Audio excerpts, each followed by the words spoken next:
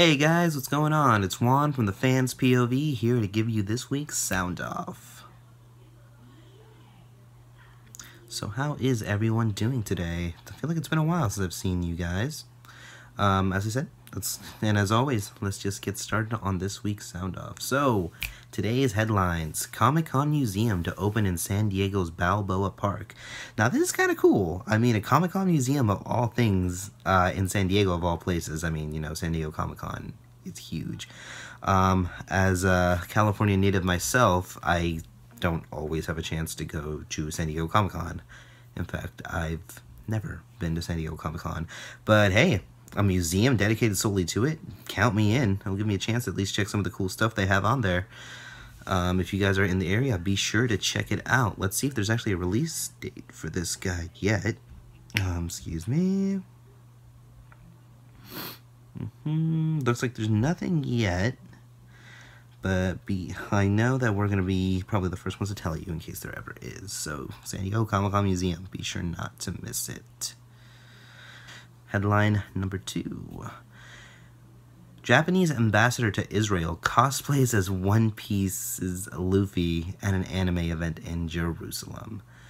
So, that is awesome. I can't think of a better way to kind of go introduce yourself to people and be like, hey, look at me. I am this anime character. So, that is awesome. Props to you, sir. This is it. This is the whole show. Me waiting for this uh, page to open. Here we go. Okay, so as I said, Japanese ambassador to Israel cosplays as One Piece Luffy at the anime event in Jerusalem. Asahi Shimbun and NHK reported today that so the 59-year-old ambassador Koji Tomita he went to Harucon 2017, which is a convention dedicated to Japanese manga and anime in Jerusalem, and cosplayed as Luffy. That is honestly awesome yeah, like, uh, I'm sure Ernie will put up the picture maybe over here or over here. I don't know, maybe anywhere. Uh, oh, yeah, you just see this guy dressed up as Luffy, uh, fake six pack and all. That is awesome stuff. Okay. And last headline the 2017 Denver Comic Con beer naming contest has begun. So, anyone over in Denver, if you have think of a great name for this beer convention. Check it out. Who knows? You might make headlines. We might see you on an episode of this. Yeah, so uh, super simple stuff. Just to submit idea for a name, head over to their Facebook page and post your suggestion by 5 p.m. March 23rd. So it already passed. But the final four names will be marched, uh, announced on March 24th, and the voting will begin. So March 29th, if you guys had a chance to check it out, or, you know, I know we're a little late on the subject here, that's on me. Um, the official name will be announced on March 29th. So here's hoping. Let's see what happens. So that's it for the headlines of this week. So now we have the sound off picture of last week. What kind of con goer are you? Me personally, I'm like I'm the kind of guy that likes to walk around constantly. I've ever since I was a kid, I like to just go around see. I will take multiple laps around the convention is just one of my favorite things in the world to just go around and see. Just check out what there is to sell what there is to see check out the local artists what they got going on because then at the end of the day you know if there's anything i liked or remember that stuck out of my mind go and buy it you know just some simple stuff like that Um, moving on, we got the con tip of the week. Communication between, between, excuse me, cosplayer and photographer. Now, gotta pose with a passion, guys, come on. So, I am not a huge modeler or photographer myself. I leave that, you know, to the very talented Ernie, Chrissy, and Eric, if you're seeing this awesome. Um, and so, you know, always going to need some communication there. You're obviously from the photographer, I can only assume you're going to need a lot from the model itself, all these poses, all this good stuff. So get some communication in there, guys. Say if you find someone taking photos, don't be afraid to walk up and ask them if they can take yours. And, you know, maybe get a little talk in there, ask them what you'd want them to do, what can make the picture to look perfect. Moving on, we have the cosplay of the week. Friday Prismatic cosplay, and I don't know, there's a screenshot, I'm sure there's a link below uh, to this video, is this awesome Th Thanos, Thanos, I apologize, I'm not a big Marvel fan, uh, just huge guy in Uderzo. That's Like, you guys see this, it's crazy. I can't even believe there's a person in there, honestly. You know, it's huge. I wouldn't be surprised if that's the same kind of costume they used for Infinity War. Mm-hmm. Our, and moving on, our hero of cosplay is Mango Siren. I hope I said that correct. Props to you. Really glad you're able to get it. Our page model of the week is Aria Moon Cosplay. You know, you can always check her out at uh, facebook.com slash Aria Moon Cosplay, on twitter.com slash Aria Moon Cosplay, and instagram.com slash Aria Moon Cosplay. Mm -hmm. The photo shoots uh, that we have done this week is a Pokemon Go trainer shoot with Aria Moon Cosplay, who got married this last weekend. Congratulations! I'm really happy for you. Alright, guys, moving on.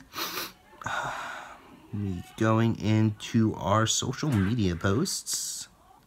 Yes, so starting, we have Fairy Godmother for Hire, who specializes in children's costumes. Now, these are kind of cool. So it's on Etsy. Um, it's always. I love I love me some Etsy. Uh, yeah, and uh, the one I found specifically is this really cool, like, looks to be a raven from um, Teen Titans. I'm sure there's a lot of Teen Titans fans around here. So, you know, it's cool because it's like they're specifically made for kids. So, you know, if you ever need a kid, you know, or if you yourself are a kid who needs a costume, definitely check them out. Moving on, we are going to our artist of the week. That is Antoshines. Antoshines. Antoshines. I am off today. I apologize. Yeah, there's an art, digital artist from uh, DeviantArt who just takes you to whole different worlds with their art. It's just so beautiful. The one that um probably on the screen right now that looks like a whale on you know jumping out of the sea with a little girl in front of it, it is called Dream Big. Like I don't know, to me that's just beautiful. Like, you know, got the perfect landscape there with the ocean, you got the whale with the castle on its on its back. Like that's I've always been a fan of like the whole fantasy mythology kind of stuff, and this is totally right up my alley. Be sure to check out their DeviantArt if you can. It's worth it's worth a glance at.